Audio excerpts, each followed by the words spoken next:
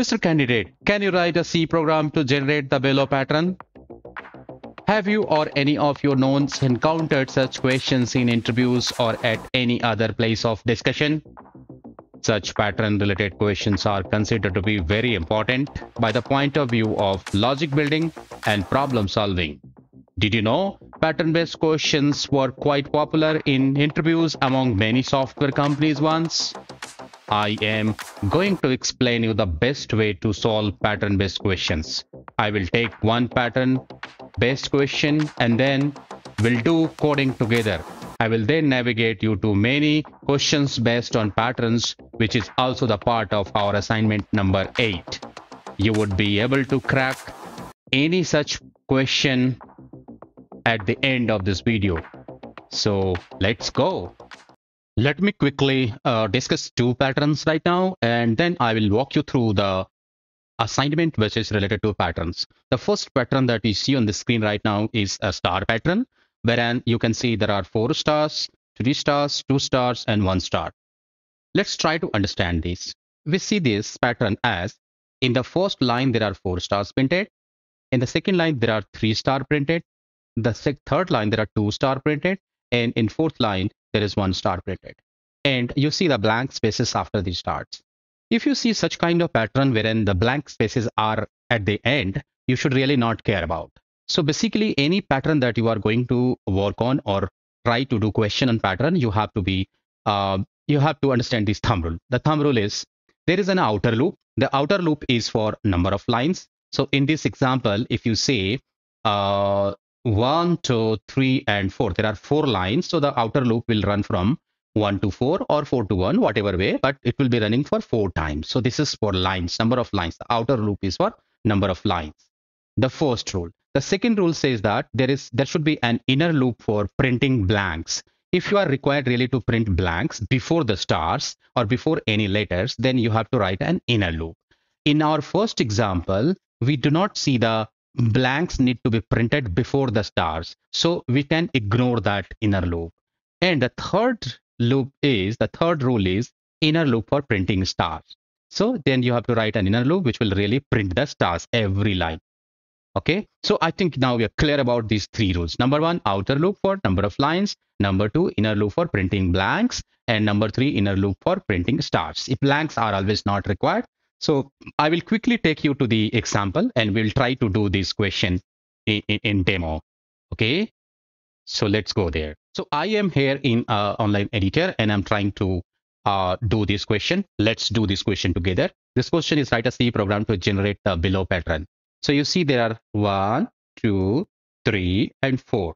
Then the rule says outer loop is for number of lines. Okay. So the outer loop is for a number of lines. So I will create couple of variables. I am creating i and j variables for loop. And let's say write a loop is 4 and i is greater than equal to 1 and i minus minus. Okay. I will tell you the reason why I'm running this loop uh, in reverse from 4 to 1, not from 1 to 4. Okay. So this is for what you call this is for outer loop. And what you do is you have to, at the end of this loop, you have to write something called printf and slash n. The slash n tells that I am done with some star printing and then I need to make a new row, new, new row, right? A new line. That's why this is that. So the outer loop work is finished here. Now we need to run a loop inside. Okay. So let's run a loop. So in first sequence, how many stars are to be printed? So let's say run the loop for j equals 1 and j should be running how many times? So you see the first line j is running how many times? 4 times. In second line j is running how many times? j means how many stars printed? 4 stars. In second time how many stars printed? 3 stars. And third time how many stars printed? 2 stars. And in the fourth time how many stars printed? 1 star. So if I say j is 1 and j is equal to i, i which is 4 first and say j plus plus. Okay. Make sense? All right. And here I am going to print what you say value of, I mean, start. Okay. So it's pretty simple. Now, what will happen? See, the first time i is 4. So this loop will come inside. So if you say i is 4, then it will check if i is greater than 1. Yes, it is 4, then it is greater than 1, then it will come inside. and the j run will run from 1 to 4. So how many times this loop will run? This loop will run for 4 times. So the how many times the star will be printed? 4 times. And then it will come out and the new line will be printed. So you just imagine 4 stars and new line. Again, the value of i has come down to 3. Now it will come again the loop inside and then j will run from 1 to 3 and 3 stars will be printed. Okay, so let's run the loop for you first. You see that the program has got executed and it has printed the same pattern. All right. So hope this makes sense. I will take you to the next level and I'll try to explain another question. So next question is this one, wherein you see that in first line, one star printed, in second line, two star printed, in third line, three star printed, and the fourth line, four star printed. This looks fine here, but the problem here is the stars are not printed from the beginning. I mean, there are some blank spaces also printed first.